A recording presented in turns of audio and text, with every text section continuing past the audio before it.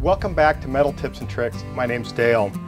Have you ever wondered, is there a real easy, quick way to align the compound rest on your lathe? Well, I'm going to show you a trick and how to do that. And we're going to start out with an angle block here. This one here is at 30 degrees because I need an included angle of 60 for this particular end. I'm trying to set up something for live centers.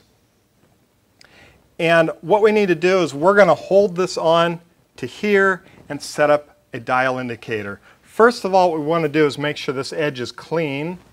Make sure there's no burrs on it. And we're just going to stick it to it with a magnet. Make sure that's on there nice. Okay. Set up a mag base. And you can put this magnet anywhere here. It's not relevant to the overall measurement. To bring in, preload this a bit. Now I'm going to stop this at zero even though we really don't care where it stops. We just care that it stops. I'll show you what I mean. So I'm going to turn this handle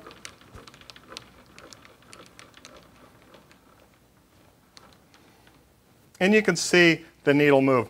Now what I want to do is tap on it as I turn the handle and my goal is to make the needle stop moving, not by breaking the dial indicator, but by just carefully changing this angle. Let me show you.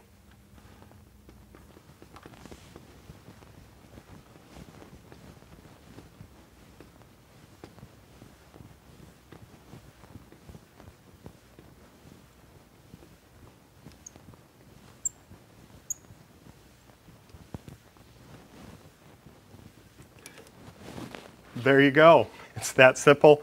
Tighten it down, double check it, and you've got your compound rest set up at a 30 degree angle for a 60 degree included angle in a matter of minutes, or less than a minute actually.